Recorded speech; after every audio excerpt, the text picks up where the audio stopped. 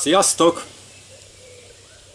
Orbán Viktor újabban számos sajtótájékoztatót tart, ez érthető is az ő helyzetében, és most kering egy anyag, melyet fideszesek osztanak meg, és próbálnak minél több olvasóhoz eljuttatni, amely szó szerint ezt tartalmazza, most felolvasom, aztán reagálni fogok rá. Egy munkanélküli, romokban lévő, morális és gazdasági válságban lévő országot vettem át. Meg 30 szoroztam a magyar aranytartalékot, kifizettem az IMF hitelt. 800 ezerrel több embernek adtam munkát. 7000 milliárddal növeltem az állami vagyont. Bevezettem a családi adókedvezményt, bevezettem a csokot, bevezettem a babavárót, bevezettem, hogy a nők 40 év munkaviszony után nyugdíjba mehessenek. Megduplázom az orvosok bérét, kifizettem az önkormányzatok adósságát, három évre növeltem a gyest, bevezettem a nagyszülői gyedet, bevezettem a gyed extrát. Száz százalékra emeltem a csedet, megújítottam a mentőautóflottát, megújítottam a mentőhelikopterflottát. Csökkentettem a munka terheit, jelentősen növeltem a reálbért. Eltöröltem az örökösödési illetéket. Több ingyenes meddőségi kezelést adok. Csökkentettem a vakok áfakulcsát. Ingyenesítettem az SMA kezelést. Helyreállítottam kolontárt. Példátlanul fejlesztettem a hadipart, 25 éves rekordot hoztam a termékenységi rátában, elindítottam a modern városok és a magyar falu programot, negyedére csökkentettem a mély szegények számát, az EU legolcsóbbjára csökkentettem a rezsit, rekordberuházást értem el, sorra dőlnek a turizmus rekordjai, nem csak stadion, de rengeteg kastély, strand, műemlék, híd, kórház, múzeum, tér, tanúszoda, mentőállomás épült, és újult meg az elmúlt években. Nyugdíjprémiumot adtam az öregeknek, sőt elkezdtem visszavezetni a 13. havi nyugdíjat. A nehéz időszakban jutalmat adtam a rendőröknek, ápolóknak, orvosoknak. Jelentősen javult a házasodási kedv. Jelentősen javultak a bűnelkövetési statisztikák.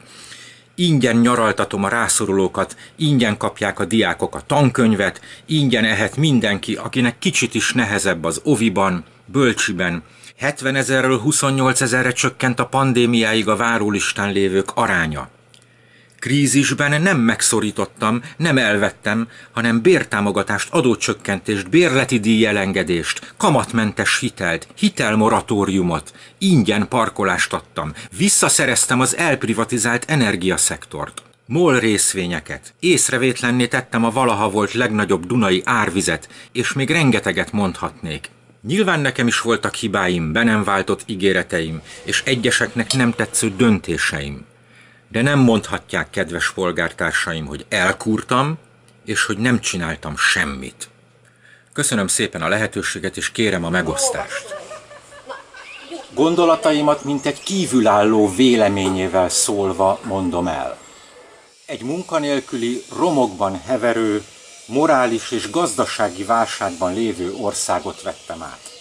Igen, csak hogy több mint 11 év telt el azóta, és például amikor nagyon nagy volt a baj Trianon után Magyarországgal, akkor Hortinak is, illetve az ő minisztereinek, kormányainak, miniszterelnökeinek is sikerült 2, 3, 4, de legfeljebb 5 év alatt megmenteni az országot és megfordítani a dolgokat.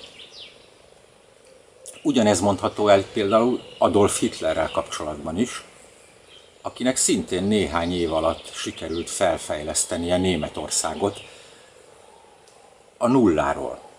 Tehát akikhez mi szeretnénk mérni az eseményeket és a dolgokat, azok olyanok, hogy lehet csodát művelni néhány év alatt, de legfeljebb 5 év alatt. De 10, 11, 12 év alatt.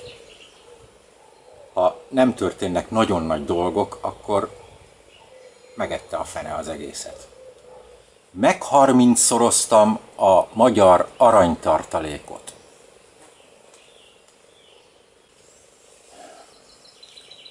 Ez nem ellenőrizhető. Nem tudjuk, senki sem tudja, mi a valóság, mert ez csak bemondásra történik.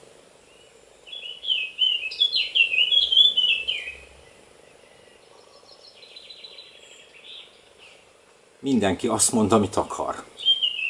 Hogy úgy van-e, vagy nem, arról nagyon nehéz meggyőződni. Nem nyitották ki a széfeket, és nem mutatták meg az aranyat. Nagyon jó lenne, ha ez igaz lenne, úgyhogy szurkolunk érte, és díjazzuk, ha ez így van, akkor ez óriási teljesítmény. Kifizettem az IMF hitelt, és felvettél helyette kínai hitelt. 800 ezerrel több embernek adtam munkát. Ebből 799 ezer közfoglalkoztatott, sajnos. Az pedig finoman fogalmazva is komolytalan. 7000 milliárddal növeltem az állami vagyont. Ha ez így van, akkor azt gondolnánk, hogy ennek komoly gazdaság élénkítő hatása van, illetve kellene, hogy legyen. Jólétet előmozdító hatása. De az nincs. Tehát feltehető, hogy ez, ez nem így van. Mert ez a mennyiségű pénz például összehasonlítva a Marshall féle lehetőségekkel, amely sok-sok ország, 10-17 ország jólétét biztosította ez az összeg évtizedeken keresztül, azért azt a 7000 milliárdot érzékelnünk kellene mindenben. Akkor egy kiegészítés, egy pontosítás, hogy érthetőbb legyen. Ez az Orbán Viktor által megnevezett 7000 milliárd, ez 23 milliárd dollár.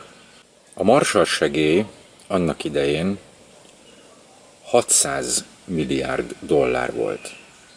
Ebből 17 ország részesült, formálisan, mert persze nem egyenlő mértékben kaptak, 35 milliárddal fejenként.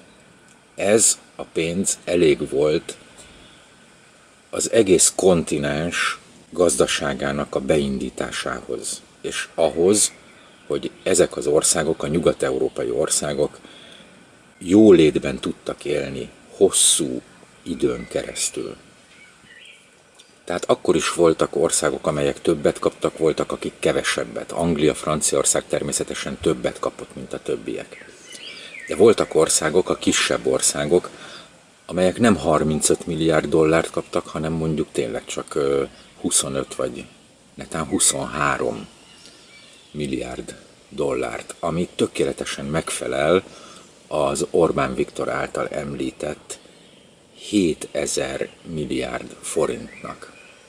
Tehát emberek és kedves Viktor, ez a pénz, amiről te beszélsz, Magyarország jóléti társadalmának biztosítéka, és nagyon szeretnénk, hogyha ennek szétosztása révén végre valahára beköszöntene nálunk is a hőn áhított jólét. Erről ennyit. Tehát ez a pénz egy kis országnak pont jó, éppen megfelelő. Úgyhogy nem tudjuk, hogy hol van az a pénz, de ideje lenne elővenni, és ha mindannyian megkapnánk belőle a részünket, a magyar állampolgárok egytől egyig.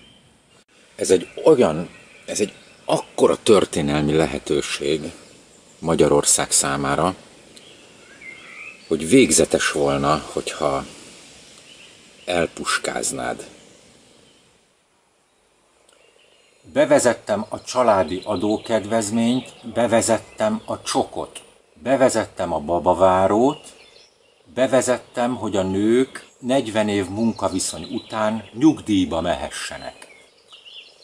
Ez látod, igaz. Megduplázom az orvosok bérét. Ezt eddig még nem láttuk. Kifizettem az önkormányzatok adósságát. Ez igaz, de 2010-2012 körül történt ez. És azóta már réges-régen ugyanúgy el vannak adósodva az önkormányzatok. Három évre növeltem a gyest, bevezettem a nagyszülői gyedet, bevezettem a gyed extrát, száz százalékra emeltem a csedet. Kötelező óvodába járás van három éves kortól. A jobb az lenne, ha az iskola előkészítős év még mindig meg lenne, és arra vonatkoznának ezek, ahogy mindig is volt a megelőző időkben. A régi időkben nem volt kötelező óvodába járás, de az utolsó iskola előkészítő évben viszont igen. Ez untig elég volna. Megújítottam a mentőautóflottát, megújítottam a mentőhelikopterflottát. Való igaz, nagy dolog, de ez mindenképpen alap és kötelező szint egy valamire való országban. Csökkentettem a munkaterheit. Levettél belőle, és rápakoltad máshová. Jelentősen növeltem a reálbért. Nem. A statisztikai hivatal közlései szerint és a kormány közlései szerint már réges-régen, évek óta megy ez a hacacáré, hogy 250-300 ezer forint Magyarországon az átlagkereset. Vagyis, hogy a legtöbben annyit keresnek meg ilyenek. Ebből egy szó sem igaz. Ezt mindenki tudja. Pont erre lett volna szükség, hogy az emberek tényleg ennyit keressenek.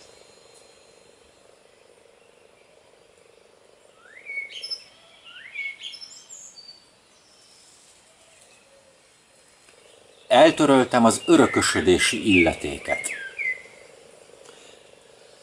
Nem így van.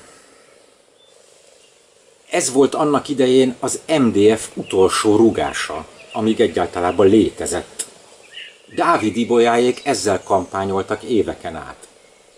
És valóra is vált. De még az ő időszakuk alatt. És ez tényleg nagyon jó, erre nagyon nagy szükség volt több ingyenes meddőségi kezelést adok, csökkentettem a vakok áfakulcsát. És a látókét hagytam elviselhetetlen és elhordozhatatlan szinten. Ingyenessé tettem az SMA kezelést. Nem, mert az SMA-s gyerekek részére gyűjtenek állandóan az emberek a társadalom. Ezzel kapcsolatban még annyi kiegészítés hozzáfűzhető, hogy az igaz, hogy néhány héttel, hónappal ezelőtt a kormány lehetővé tette az ingyenes SMA kezelést, melyet az egészségpénztár fizet, de az ennél összehasonlíthatatlanul hosszabb, évtizeden keresztüli helyzet az mégiscsak az volt, hogy társadalmi segítséggel lehetett csak megoldani az ilyen kezeléseket. De most ugye közelednek a választások, és az Orbán kormány ím az utolsó pillanatokra lehetővé tette az SMA kezelések ingyenességét. És hát ilyen szinten lehet csak igazat adni akkor Orbán Viktor ezen szavainak. Helyreállítottam kolontárt. Nem volt még csak nemzeti gyásznap sem az iszap katasztrófa után. Felháborító volt.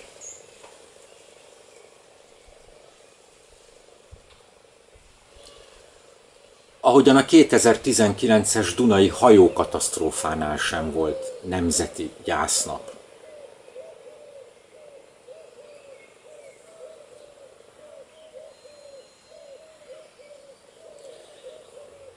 Kérdezzük meg azokat, akik ott laknak, Devecser Kolontár térségében. Azóta sem történt meg. És még mindig nem ül börtönben az, aki csinálta.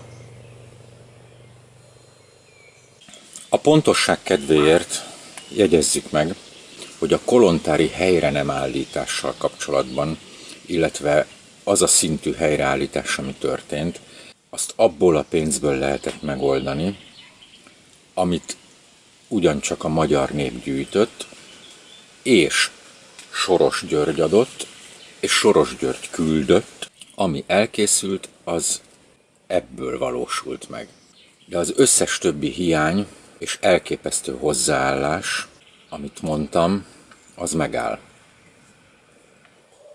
Példátlanul fejlesztem a hadipart.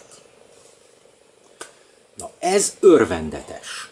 Éljen, éljen a nagy hadipar fejlesztés. De ezt komolyan mondom. Végre valami. 25 éves rekordot hoztam a termékenységi rátában. Ez jó, ha tényleg így van, bár lehet, hogy kevés, mert nem látszik meg a lélekszámon. Elvileg tehát sokan születnek, de ezek szerint többen halnak meg az egészségügy állapota miatt. Elindítottam a modern városok és a magyar falu programot. Való igaz.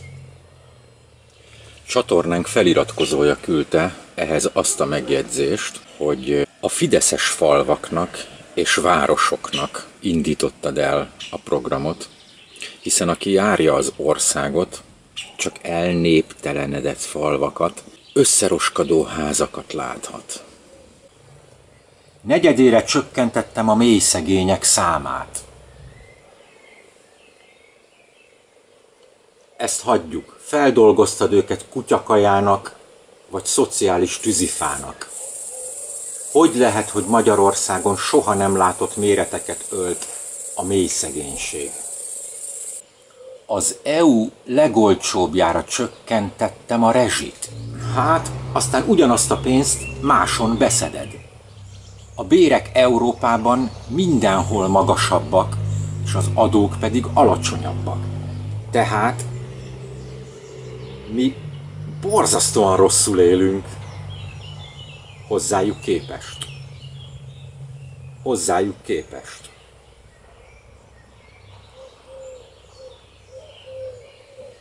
Rekordberuházást értem el. Sorra dőlnek a turizmus rekordjai.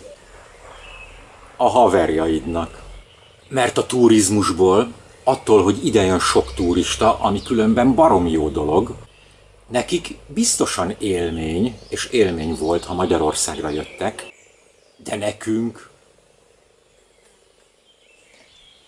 nem csak stadion, de rengeteg kastély, strand, műemlék, híd, kórház, múzeum, tér, tanúszoda, mentőállomás épült, újult meg az elmúlt években.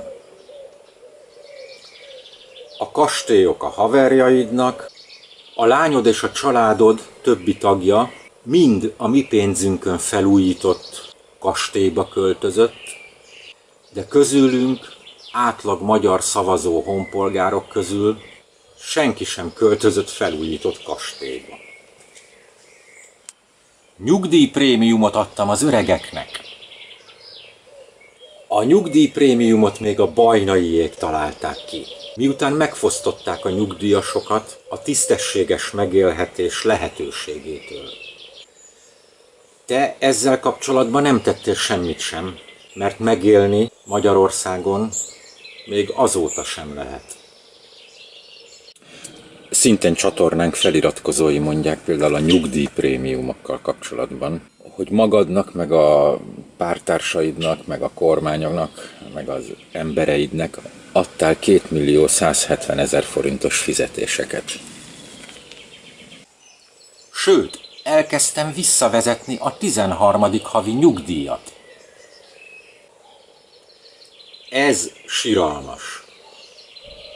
Egy heti nyugdíj egyszeri alkalommal. 20 ezer forint egy évre. az egész, amiről beszélsz. Az semmi a 3000 forint nyugdíjemeléssel együtt is. Ez így se, úgy se pénz, ez röhely.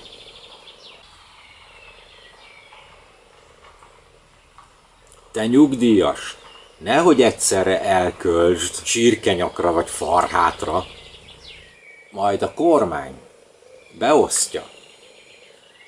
Nehogy rábüdösödjön a nyugdíjasra, ha már hűtőre se telik neki. A nehéz időszakban jutalmat adtam a rendőröknek, ápolóknak, orvosoknak. Erről is más vélemények érkeznek hozzánk. Hálapénz tilos, helyette egyéb meg igazából nincsen. Jelentősen javult a házasodási kedv. Mert mindenki csokra szül gyereket, aztán rájönnek, hogy vállaltuk, de minek? Nem is tudunk megélni. Együtt sem, meg külön sem. Tehát válunk, de minek? jelentősen javultak a bűnelkövetési statisztikák. Ez nem minősíthető, itt szükséges lapozni. Teljesen más a tapasztalat. Ingyen nyaraltatom a rászorulókat. Ilyen nincs. Nem tudni, kire gondolsz. ez, hogy rászorulók, ez megfoghatatlan, megfoghatatlan kategória. Hogy gondoltad? Ingyen kapják a diákok a tankönyvet, és minden más sokkal drágábban. Amit megnyer a vámon, azt elveszti a réven. Amit megnyer a réven, azt elveszti a vámon. És így tovább ingyen ehet mindenki, akinek kicsit is nehezebb, oviban, bölcsiben. Az előző, a régi modell is csapnivaló volt, ebben lehet, hogy pozitív változás történt.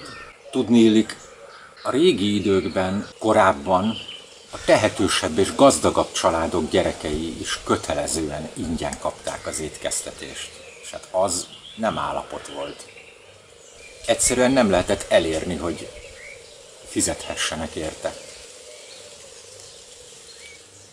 És akkor itt szúrjuk közbe, hogy Magyarországon elviselhetetlenül ostoba törvények vannak, melyen ez a kormány sem változtatott, ez a parlament, ez a törvényhozás sem, sőt, sokkal rosszabbá tettétek a törvényeket, mint voltak régen is kifejezhetetlenül szarok voltak.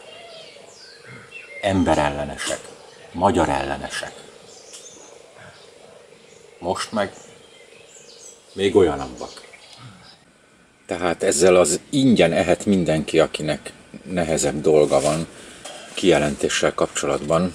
Olvasóink azt üzenik, hogy ez gátlástalan hazugság, és egyébként is ne adj ingyen kaját senkinek, hanem munkát és tisztességes béreket adj a magyar embereknek, amelyből kacsacombot is vehetnek az egész család számára. 70 ezerről 28 ezerre csökkent a pandémiáig a várólistán lévők száma. Erről ne beszéljünk. Ha nem fizetsz, megdög lesz fél éves várólisták vannak. Pedig annál azért az esetek túlnyomó részében hamarabb kellene az ellátás. Úgyhogy ezt ne, ne vegye a szájára, miniszterelnök úr. Krízisben nem megszorítottam, nem elvettem, hanem bértámogatást, adócsökkentést, bérleti díj elengedést, kamatmentes hitelt, hitel moratóriumot. Ingyen parkolást adtam. Ez vérlázító, igen. Moratóriumot adtál, és ezzel megoldhatatlan problémát idéztél elő. Egy bombát robbantottál a szarban, és ment szanaszét, fröcskölt mindenhová.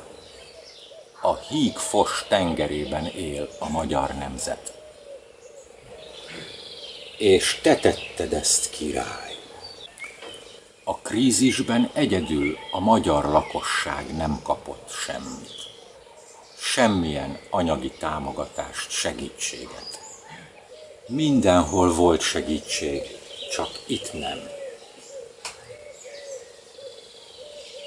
Tehát ugyancsak a pontosítás kedvéért ezekkel a moratóriumokkal kapcsolatban, amelyet pénz helyett adtál az embereknek, és amivel igazából semmit az égvilágon kezdeni nem lehet az ilyesmivel, mint a hitelmoratórium, kamatmentes hitel, bérleti díj csökkentés, adókönnyítés, parkolási lehetőség. Szóval komolyra fordítva a szót, ezekkel a behelyettesített megoldásaiddal, hogy ugye ahelyett, hogy valódi segítséget, pénzt adtál volna az embereknek, ezek a moratóriumok azt eredményezték, hogy például a rosszindulatú, bűnöző hajlamú, nem fizető, aljas szándékú bérlőket sem lehetett még bírósági úton sem eltávolítani. A végrehajtók nem dolgoztak fél éveken, éveken keresztül a moratóriumodnak köszönhetően, és a szerencsétlen, tisztességes magyar állampolgárok nem tudtak előbbre jutni, nem tudtak megszabadulni a problémáiktól, mert az állam, hála a te ragyogó áll intézkedéseidnek nem működött megfelelően. Ezek tények, és ezzel kibaszottul megkeserítetted sokak életét ebben az országban. Ahelyett, hogy adtál volna nekik pénzt úgy, ahogy minden országban ezt megtették, legalábbis itt, a mi kontinensünkön, ebben az öreg Európában, kivéve Magyarországot. Egyes egyedül te nem adtál pénzt az embereknek, hogy ezt a nehéz, veszélyhelyzetes időszakot valahogy túlélhessék. Ezek tények. Visszaszereztem az elprivatizált energiaszektort, MOL részvényeket. Ismét a haverjaidnak. Észrevétlenné tettem a valaha volt legnagyobb Dunai árvizet. Mi van, tátottad a szádat és elnyelted? Nem csináltál semmit. Ahogy az iszap katasztrófa és a Dunai baleset kapcsán sem.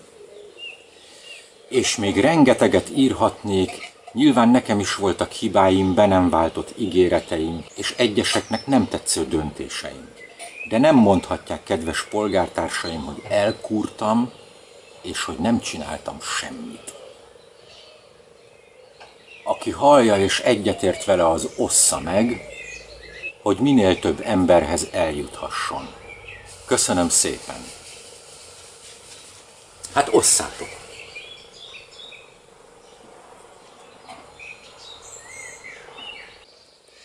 Nem csináltál semmit 12 évig, csak a családodat stafíroztat ki meg a talpnyalóidat, a haverjaidat, és maffia államot építettél ki. Dél-amerikai katonai huntákhoz hasonló, olyan típusú közállapotokat idéztél elő, és befeküdtél a kínai kommunista párt ölébe.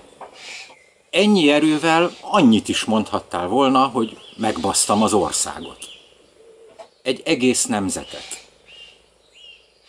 ostoba módon üldözted a dohányosokat, és üldözöd a ferdehajlamúakat. A letérdeléssel kapcsolatban teljesen igazad volt. Hát mindenki tudja, hogy nem térdelünk le. Amennyiben úgy gondolod, és mondtad is, kifejtetted részletesen, hogy nem térdelünk le. Szinte mindenki mondja, általános vélemény, hogy nemhogy nem hagytok senkit az út szélén, hanem mindenkit belelöktél a szakadékba. Elérhetetlen vagy, nem lehet elérni. Még a Kádár rendszerben is olajozottan működött a titkárság. Az embereknek volt reménye, hogy a hatalom talán meghallja a szavukat. A sajtót rezervátumba zártad. Ez azt jelenti, hogy szabadon beszélhetnek, de ki messzebbre már nem hallatszik a szavuk. A sajtónak? Így, így nem volt jó a sajtóról között közleményed. Mert hogy? Azért drágám, mert van itt sajtó, Hát éppen ez az Amelynek- van, csak éppen amelynek Határok kb. között. 90%-a az övé. Fölvásárolta. persze, de hát arról sajtót, az, de az ami nem megmaradt sajtó. ellen sajtóként, azokat pedig nem engedi hírhez jutni. Nem engedi, mert nem mond el semmit, ugye? Igen, igen. Azoknak ő, ő nem beszél. Ez képletesen olyan, mintha rezervátumban élnek az indiánok, akik nem kapják meg a kellő támogatást, információt, Na egyebet. jó, csak így olyan, olyan nagyon száraz volt. Igen, mert nem erről szól az egész, tudod, ez csak a Tudom, végpont. értem. Csak Tehát Értelek, ez, csak, hogy valamit akarsz felsorolni. Igen. igen, igen, és csak képletesen. A sajtó, az egész sajtó a tiéd. 90 százalék. Ezért is jó a rezervátumjelző, mert ott az egész ország az nem a Szóval az, az, az, az, aki be, bezárja a rezervátumba az indiánokat. Tehát az egész sajtó valaki, aki bezárja az igazi szabad sajtót egy rezervátumba. Egy jó a hasonlat. Az emberek tartalékai kimerültek. Nem lehet megélni ebben az országban. Tedd hozzá, hogy csak a mészáros. A sokat retteget gyurcsányod szabadlábon van. Uralkodik a többfejű sárkány, amelynek ti, Orbán és Gyurcsány vagytok a két feje. Aki még nem látta a kétfejű sárkányról szóló videónkat, az a leírásban lévő linken keresztül megnézheti.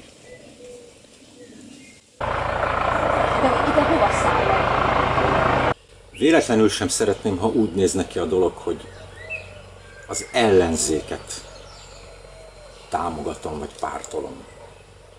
Vagy kifejezetten kormányellenes vagyok. Én csak elfogulatlanul próbálom látni a helyzetet. Ezzel búcsúzom. Köszönöm a figyelmet. Ennyi. Hogy ki kicsoda?